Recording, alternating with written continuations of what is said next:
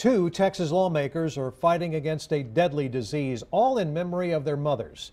Both lost their mother around the same time to ovarian cancer. As KXAN's Aaron Cargile reports, the two men are now trying to turn their loss into a win.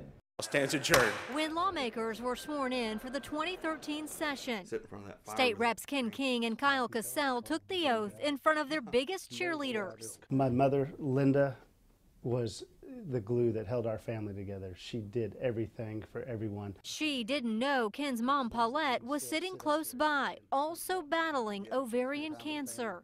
she came to inauguration and the next day she went to Houston and received a clean bill of health from MD Anderson. But six months later, Linda died, and Paulette By her birthday on March 4th, she was re-diagnosed and by September she was dead.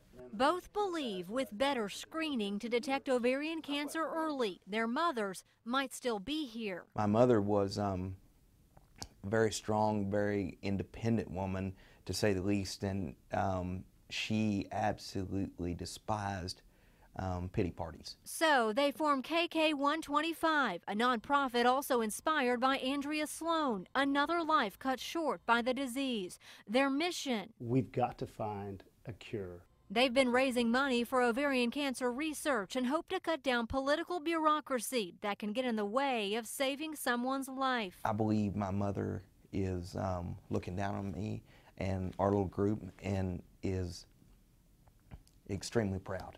Aaron Cargile, KXAN News. The name KK125 comes from the lawmakers' initials and the only blood test out there that can detect ovarian cancer early. It's called CA125. The lawmakers plan to file a bill that could help women get screened on a regular basis and have it covered by insurance.